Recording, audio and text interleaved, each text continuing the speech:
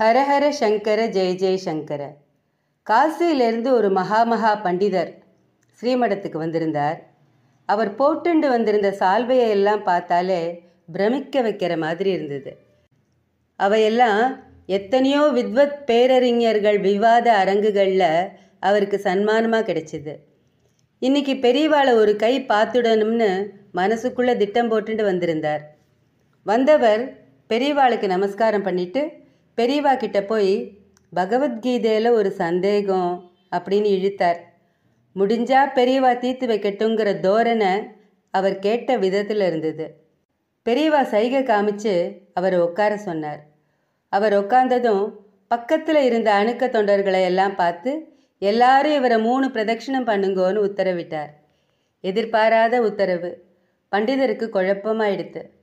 தொண்டர்களுக்கு ஒரே திகைப்பு. பெரியவா வந்து என்ன இப்படி? அப்படின்னு நாக்கு குழறினார் பண்டிதர். பெரியவா மெதுவாக சொல்ல ஆரம்பித்தார் பகவத்கீதையில் எனக்கு பதத்துக்கு பதம் ஆயிரம் சந்தேகம் இருக்குது உங்களுக்கோ பகவத்கீதையில் ஒரே ஒரு சந்தேகம்தான். உங்கள் பாண்டித்யம் என்ன? ஞானம் என்ன? அடடடடடா. அதனால தான் என் சிஷ்யர்களை பிரதட்சிணம் பண்ண சொன்னேன் அப்படின்னார். பண்டிதரோட கர்வத்துக்கு பலமான சம்மட்டி அடி தலையை தூக்க முடியல. அதுக்கப்புறம் பெரியவா ரொம்ப பொறுமையாக பகவத் பாதாள் பாஷ்யத்தை சொல்லி ரொம்ப நேரம் புரியிற அளவுக்கு விளக்கம் கொடுத்தார். பண்டிதர் அப்படியே சொக்கி போயிட்டார். அவருக்கு இருந்த கர்வம் காணாமல் போயிடுத்து.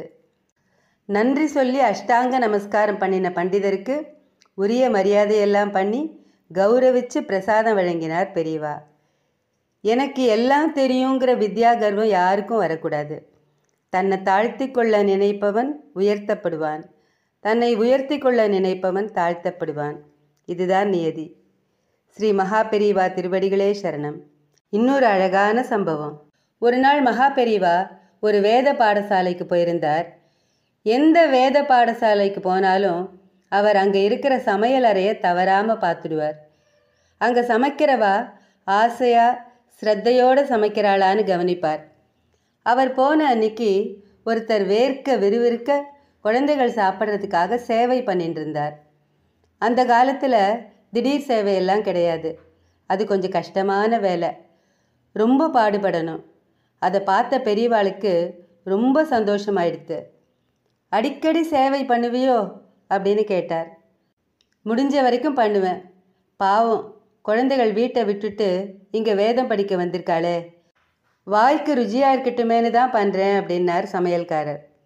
ரொம்ப சந்தோஷமாக இருக்குது தினமும் சேவை பண்ணு அப்படின்னு சொல்லிட்டு பெரியவா வெளியில் வந்துட்டார்.